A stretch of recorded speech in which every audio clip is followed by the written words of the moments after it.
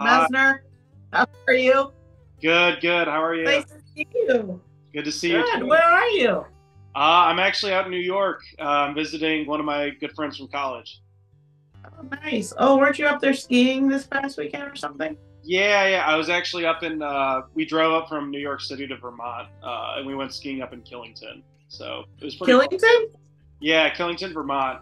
Believe it or not, they actually have like a pretty big mountain up there. So um, I was surprised, but it was like probably like a few thousand feet vertical drop. So it was a lot of fun. Yeah, I've been to Killington, Vermont uh, when Hub was like a year, I think. Hub Wow. went up with us. Yeah, I mean, it's a Yeah. good sized hill. Better, better than anything in Chicago. I'll say that. Yeah, Uh, that's true. yeah. So, It's definitely good uh, for learning on for sure. oh yeah, absolutely. Was it powder? Was the powder nice or was it icy? Uh, the first day was pretty icy. The second day it was actually really nice. So They have a lot of snow. they did, yeah, they did. Mhm. Um, I don't know exactly how much, but they didn't really. A few of the runs had like snow machines going. but, You uh, are my March golden guest on Astro Podcast, sweet. and you're here to talk about the new business you started after I retired from. Was it trading? Yeah, yeah, quant trading. Trading. Yeah. So um, yeah, Okay. basically, I I used to work in high frequency trading for about two years out of college, and um, you know it was interesting work. I really enjoyed it. It was just I think uh, it was a bit too much like on the hours. I was working like 11 hour days Monday through Friday.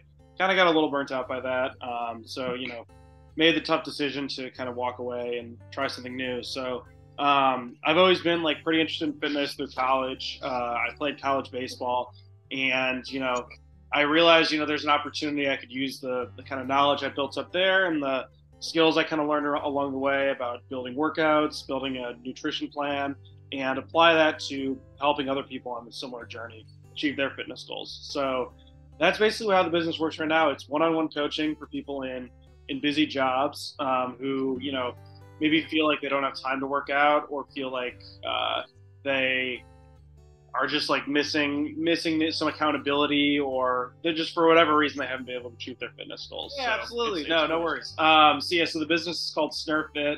Um, it's basically like I said, it's one one-on-one coaching for people in busy jobs, um, trying to help them uh, basically meet their fitness goals, whether it's losing weight, building muscle, um, just developing a better overall routine. Uh, so yeah, that's basically that's basically how it is. Um, and I've, I've found you know most of my clients I'm finding through social media, especially through Twitter. Um, that's kind of the platform. Okay. So it's for busy people who may not have time to work out, who are professionals like you you used to be, but now you retired from that a little bit. Yeah. And so you found a way to work out when you're really busy. Now you're helping other people do it, right? And they can find you on Twitter mostly. Yeah, on Twitter. So it's at sner underscore fit um, is my is my username there. Uh, Twitter is the biggest Okay. platform. I'm also on Instagram with the same same username, but a lot bigger on Twitter. Okay. Yeah. so you so- were a Okay. pitcher in college, Yep. and um, so you were always working out as a college athlete, Where did you right? go to school? Exactly. I went to Caltech.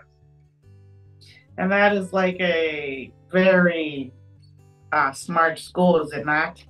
Yeah, it is. I, I appreciate that first of all. Um, but yeah, I would say Caltech. It's funny because I think a lot of people don't really know a lot about it. Um, it's like a really small school, and it's only like a thousand undergrads. And sometimes when I tell people like, "Oh, I went to Caltech," it's not like it doesn't have like the name recognition of like Harvard or uh, MIT or Stanford or school like that, but it is like on par like academically with them. Um, so yeah, it's I don't know. It, it's it's kind of funny that I- when I tell people that sometimes they just they get I get a whole like mix of reactions.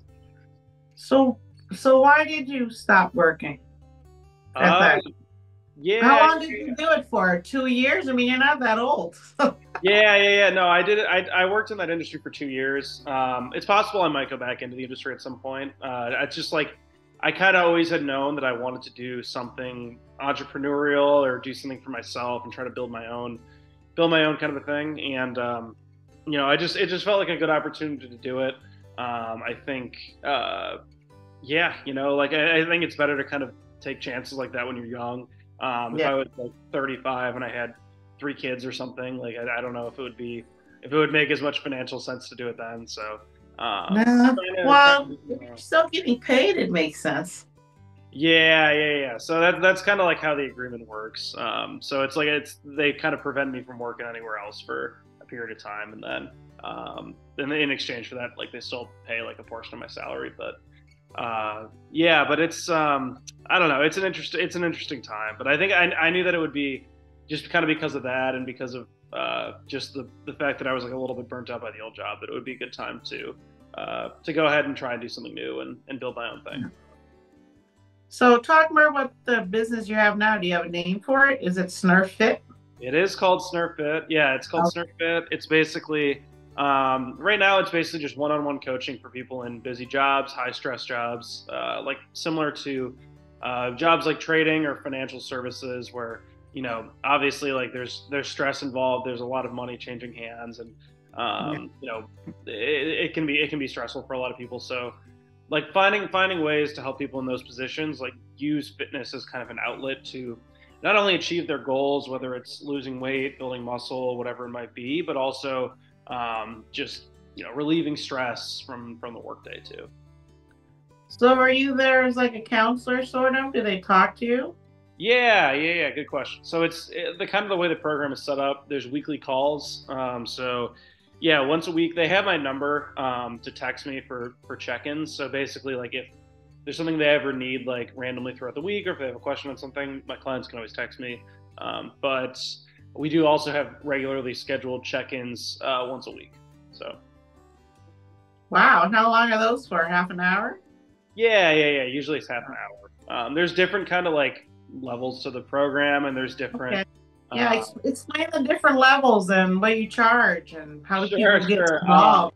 I don't know if I'm going to go into the pricing, but I can explain the different levels. Uh, so there's like there's different lengths of terms. So depending on like what I hear when I'm talking to a client about like how long their goals are. So like say a client comes in and they're like, I want to lose like 100 pounds. Like obviously that's not going to be feasible in like a short period of time. That's going to be like a a one year at least type of timeline. So um, that would be like somebody I'd put on like a year long program. Whereas whereas maybe if somebody's like I want to lose five pounds, like that would be shorter, like a three month program or something. So it could, that's like the length of terms is one, and then there's uh, two different kind of tiers within that. So there's one tier which is like the weekly Zoom check-ins via like video call, like the one we're on now, and then there's Mhm. uh, weekly uh, like video recorded check-ins. So that's like a, a little bit of a lower tier that's a more a little more affordable for a lot of people, and it's essentially the same idea, the same kind of questions, but they'll submit like a check-in form, and then I'll record a video of me kind of like going through their answers, talking through them, and send it back to them. So that's kind of the idea of how it works. Oh, wow. And how many customers do you have now? You just started, didn't you? Like a couple months Yeah, ago? yeah, yeah, yeah, for sure. So the program's been changing a bit, kind of since the beginning, uh, and I've been kind of adding, subtracting things. But over over the over that period, I've gotten seven total clients right now. Um, so Nice. yeah, yeah, yeah. So I'm definitely like kind of I'm pretty pleased with like kind of how it's going so far. But um, Yeah. you know, it's still it's still a work in progress. I'm still trying to uh, you know find more find more people who are interested in fitness, find more people that I can help, um, and uh, yeah, just kind of make it into a more like long term sustainable type of thing. Does it matter where your client lives? No, not at all. Um, I have clients from. I actually have one client who is set to start in April, who is based in the UK. So there are clients clients from all over the world. Um, mostly, I think most most tend to be in the US, but uh, literally can be anywhere in the world. I'm happy to work with you know whoever. So. So do you ever show them how to lift weights or anything like that? Or is it just Yeah. talking about about their routines? More Yeah, like no. guiding them. That's a really good question. So it's it's some of both. So basically, like right, like I'll build them a custom plan specific to their goals and to their challenges. So like you know, not all clients even have access to like a gym. Like I trained one client who uh, she actually does like a band routine at home, and and that's kind of her gym. So like I built a program for her specifically for that. Um, but yeah, I build I build like a plan for the clients, and then the plan I, I use this software called Trainerize, which is like really nice uh, because it basically has like videos of the exercises kind of preloaded in. But um, clients are always welcome to submit uh, like form checks and and stuff like that to me if they want to get like a video breakdown done or if they want to get uh, just like have uh, a better understanding of how to execute certain lifts. I'm always happy to break that down with them. Is it only about weightlifting? Uh, no, not only weightlifting. You know, some clients are not really interested in that. Some clients are yeah. just, uh, some clients just want to lose weight. Some clients only want help with nutrition and not lifting, or or uh, maybe some clients want help with workouts and not nutrition, or vice versa. So there's also kind of different. I can I can be pretty flexible with clients in those positions and uh, kind of change the way the package works a little bit depending on what they need. Um, so but so yeah. you're so you're so you're guiding them into workouts, what should what they should eat, and how often they should work out. Do you have a do you have a license for anything to do with uh, training or nutrition? Yeah, for sure. No, that's a good question. So because it's not like in-person training in the same way as like you'd be at a gym, it's like you don't necessarily need that kind of a license to start it. I have a certification through it's called NLCA. It's basically like a business.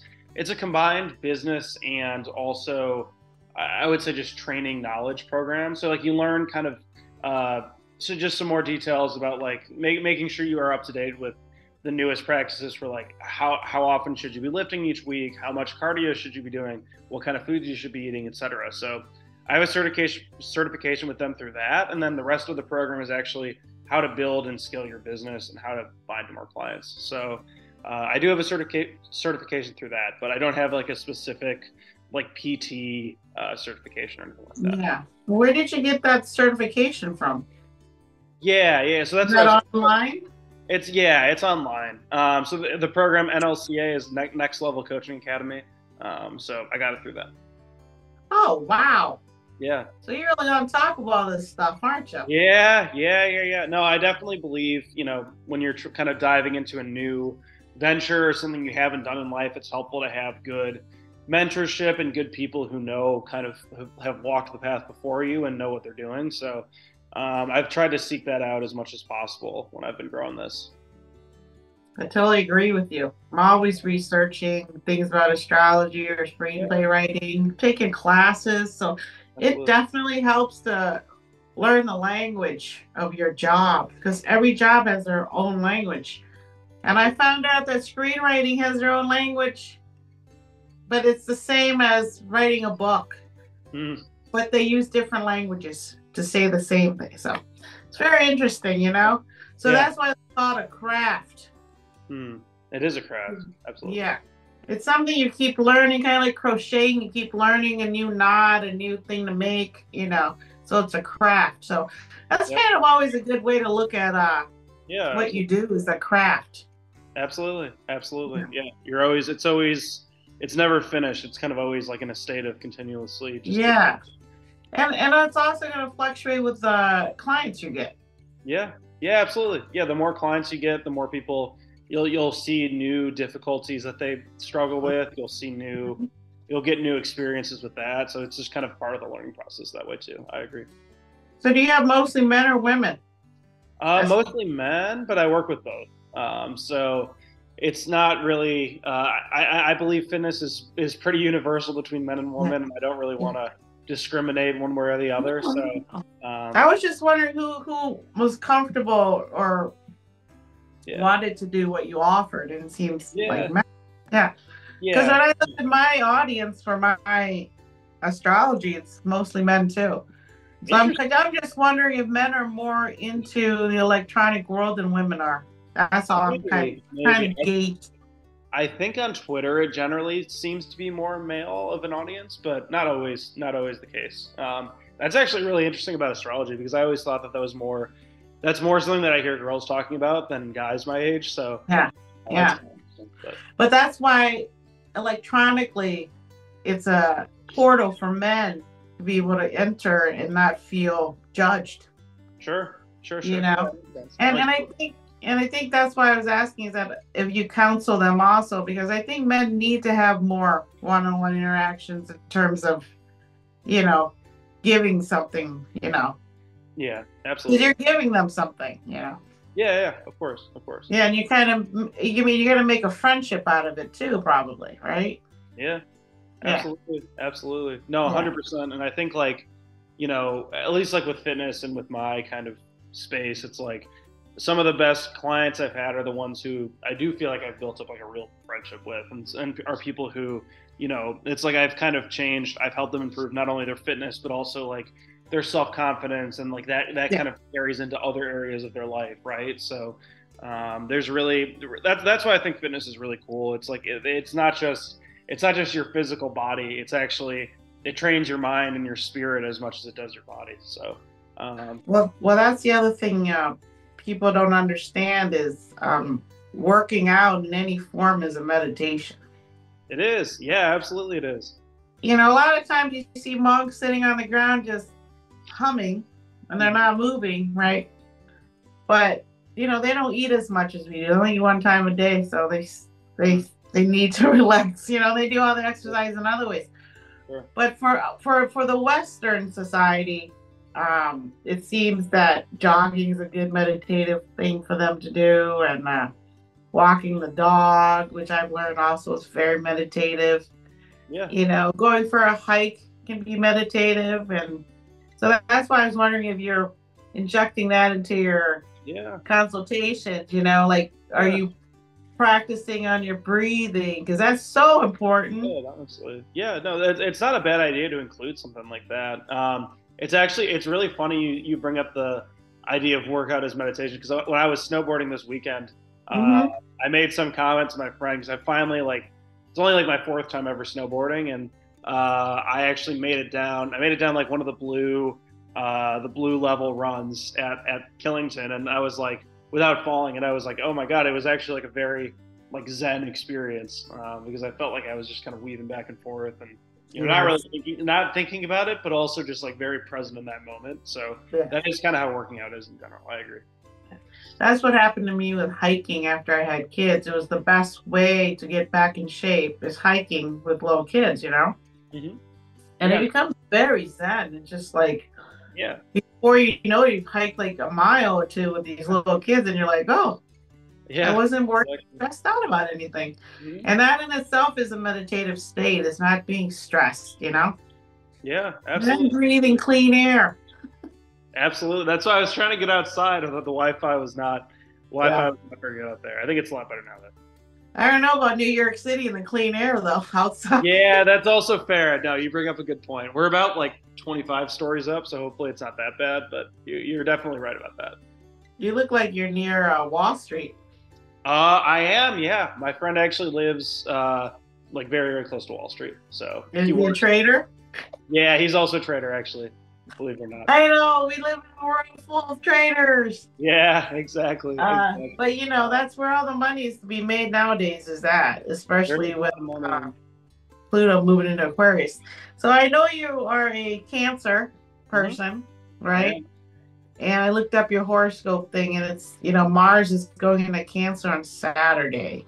Okay. So you're gonna have a lot of superpower feeling going on. All right. Sweet. Sweet. And, and since you're a Cancer, it should really not affect you in a bad way compared to other people. Mm. Because Cancer is very protective of their home yeah. and everything. So I knew that. Yeah, I knew that. That's interesting. Okay, cool. Yeah. Yeah, know. but you'll have that in your favor for a whole whole month to rev up your business. So this is yeah, coming out like. That's yeah. good to hear. Hopefully, hopefully it's the time. Hopefully, April is the month where it really starts to kind of pick up, or end of March, early April. Yeah. Well, yeah, because now people are going to get ready to go outside. Yeah, exactly, exactly. And not everyone feels comfortable going back to the gym and working out with other people yet. You know. Yeah, yeah. People are trying wet. to get in shape for summer and everything too. Yeah, and plus, yeah, you want to be outside too these days. You've been stuck inside for two years, you know. Yeah, yeah, exactly. Um, was there anything else you wanted to touch upon? Not really. I think we kind of we kind of talked a lot about like just the business and and trading and kind of my transition out of there. Um, okay. I don't know, and I got and I got my my horoscope reading, so I'm excited about that. hopefully, hopefully it bodes well for the business, like you said. I don't know. Okay, well, enjoy yourself. Thank uh, you. Make it home safely. Thank you, thank you. Uh, I appreciate that. Okay, so thank you for coming on my show. No problem. Thank you for having me. I appreciate Growing into a man. I appreciate it. I appreciate it.